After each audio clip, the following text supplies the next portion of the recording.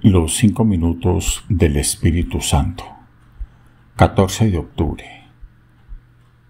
Monseñor Víctor Manuel Fernández. El mundo está lleno de colores que le dan una hermosura tan rica y variada para que nos alegremos y gocemos. Pero algunas personas por una deficiencia física solo pueden ver en blanco y negro otros pueden ver en colores pero no saben valorarlo. Eso también puede sucedernos en el nivel espiritual. El mundo está lleno de cosas lindas, de una variedad inmensa de cosas buenas, pero a veces estamos tan limitados espiritualmente que nos parece que todo es gris. Los árboles no nos dejan ver el bosque un problema no nos deja ver todo lo que está bien en nuestra vida.